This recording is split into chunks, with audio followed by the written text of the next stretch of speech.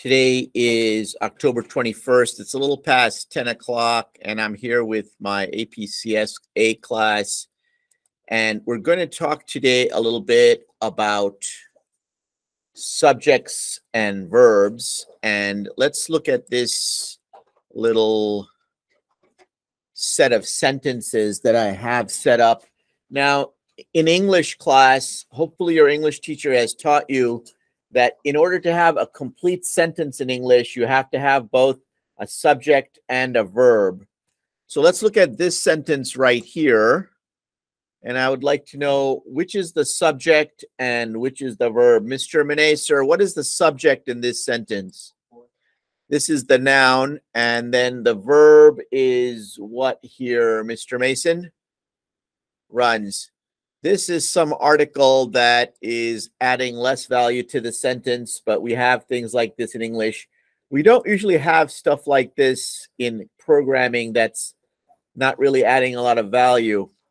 Now, I mentioned to you that in English, in order to have a complete sentence, you have to have both a subject and a verb. So my next question to you is this word right here, is that a complete sentence in English or not? Discuss with your partner. It is. It is a complete sentence and it appears to break the rule about subjects and verbs. I think we can all agree that this is a verb. We can all agree with that, right? What is the subject, miss, here?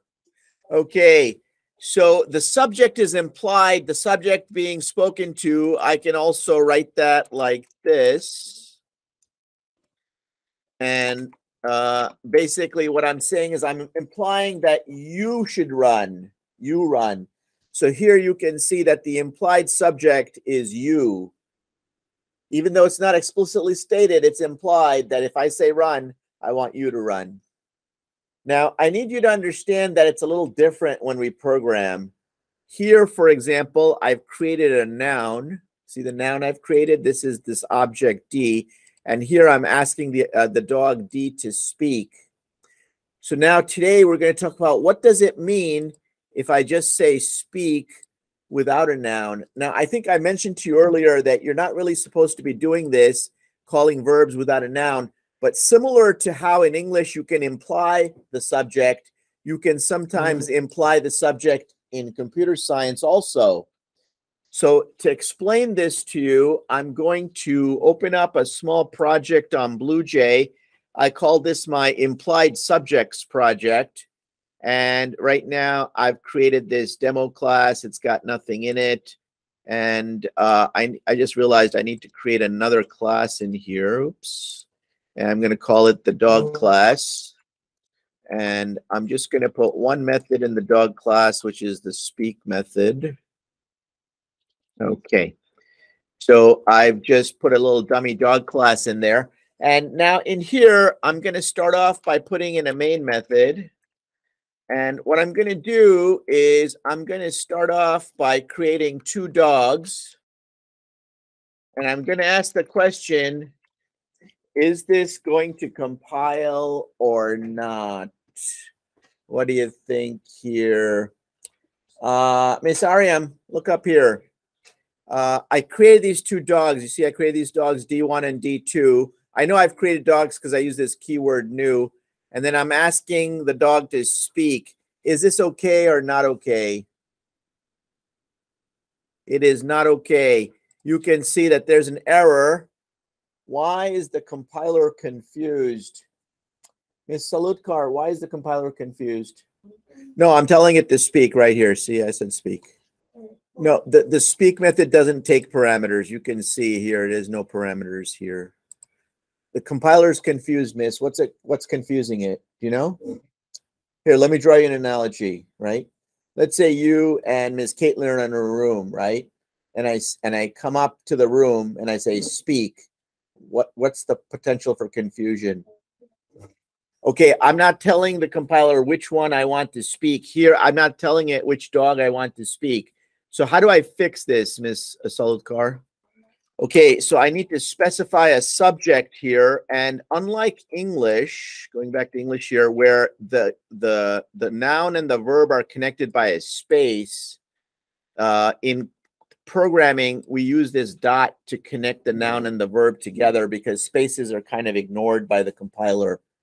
So it makes it much easier to see. Furthermore, in regular English, you can't really tell which ones are the nouns or the verbs unless you know the vocabulary. But in Java, you can easily distinguish the nouns from the verbs because the verbs have these convenient parentheses to tell you that they're verbs, action words. So going back to our little example here, you can see I can go like this, or I can go like this, and that would be perfectly okay. So now uh, my next question is, do we ever imply the subject in programming? And the answer is yes, and that's today's lesson. I'm going to give you an example of that.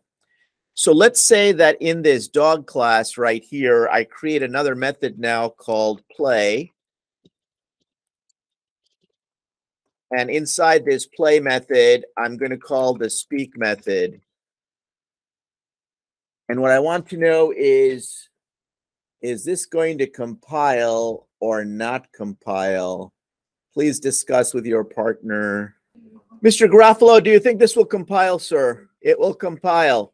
And now my next question, which is the the question for the day, is how does it know which dog is speaking if I haven't given it a subject?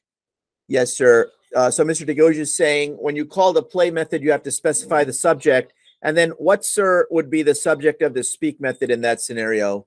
So it's the same dog. You get the idea? It's the same dog you call the play method on. So here is my little analogy in from English versus computer science. If you don't specify a subject here, what is the implied subject in English? It's you. You is the implied subject. Now here's the key difference. In computer science, if you don't specify a subject, what is the implied subject? Who can tell me? What's the implied subject? It's not you. Yes. I'm going to say it's I is the implied subject. I speak. Who who am I? I'm the one who's who you're working with at the moment. So here, for example, it's whichever dog you call the play method on. You see that, right? It's not it's not some other dog. It's it's me. It's my turn to speak. I've been asked to play and play calls speak. Whichever dog got asked to play, that's the dog that's speaking.